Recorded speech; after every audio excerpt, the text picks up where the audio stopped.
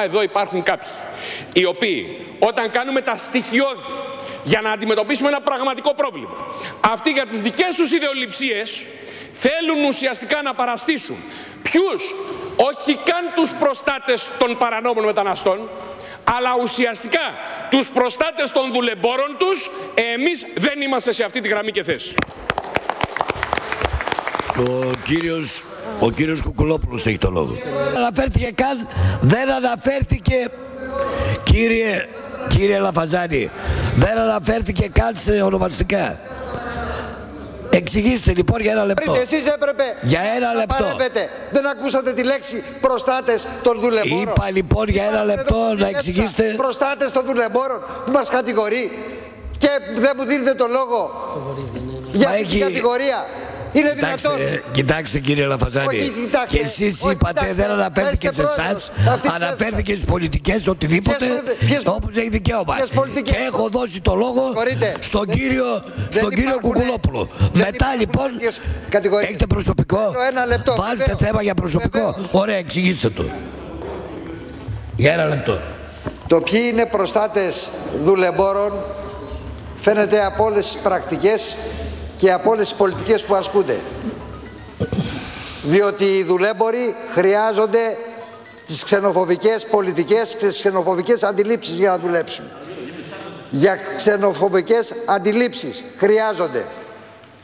Και επομένως σας επιστρέφω αυτές τις κατηγορίες, τις άθλιες κατηγορίες, οι οποίες δεν έχουν κανένα πολιτικό έρισμα και δεν αντέχουν σε κανένα πολιτικό διάλογο.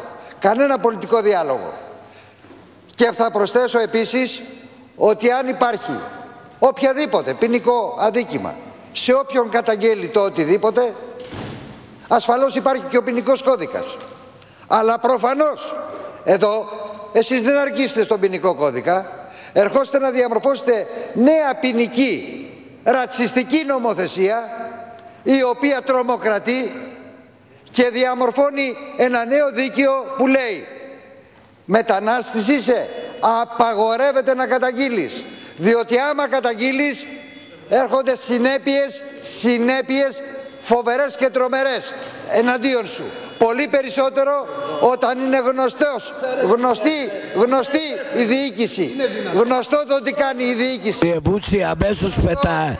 Κύριε Βούτσι, κύριε Βούτσι, κύριε Βούτσι. γνωστό, Αμέσως είναι γνωστό μετά θα τι έχετε κάνει το η λόγο διοίκηση. για 8 λεπτά. Εδώ Κύριε ένας Λαφαζάνη, πολίτης- Ένας ολοκληρώστε. πολίτης πάει και καταγγέλει το οτιδήποτε και βρίσκεται μπλεγμένος σε αξεδιάλειπτα δίκτυα. Σε αξεδιάλειπτα δίκτυα. Είχαμε πάει στην ασφάλεια. Κύριε Λαφαζάνη, ολοκληρώστε για το Δύο προσωπικό. βουλευτές Εμφανίσαν τη δημιουργία για να αναγνωριστεί. Και μετά μας λένε από μέσα. Αυτή η δημιουργία που πέρασε για να αναγνωρίσετε δεν ήταν αυτή που χτύπησε τους δύο βουλευτές. Ήτανε άλλοι, σας κοροϊδέψανε. Λοιπόν, όταν κάποιοι, δεν λέω όλοι, δεν λέω όλοι, όταν κάποιοι, δεν λέω όλοι, Τώρα κάνετε... λειτουργούν με αυτόν τον τρόπο. Λειτουργούν με αυτόν τον τρόπο στα σώματα ασφαλείας. Καταλαβαίνετε τι θα υποστεί ένας μετανάστης ο οποίος πάει να καταγγείλει. Και αυτή τη στιγμή ερχόσαστε, ερχόσαστε να τρομοκρατήσετε αυτόν τον κόσμο. Νομίζετε ότι έτσι προστατεύετε τα σώματα ασφαλείας. Λάθος. Κύριε Πολύ Λαφαζάνη, μεγάλο λάθος. ολοκληρώστε. Δεν προστατεύετε τίποτα. Τελειώσατε. Ούτε εμείς προσπαθούμε να προστατέψουμε κανέναν. Δεν χρειάζονται τη δική μας προστασία οι πολίτες ούτε οι μετανάστες. Εμείς προστατεύουμε τη συνταγματική νομιμότητα, Το προσ- τη δημοκρατική νομιμότητα, η οποία είναι πάνω απ' όλα... Κύριε και πάνω απ' Λαφαζάνη, όλους. σας παρακαλώ πολύ.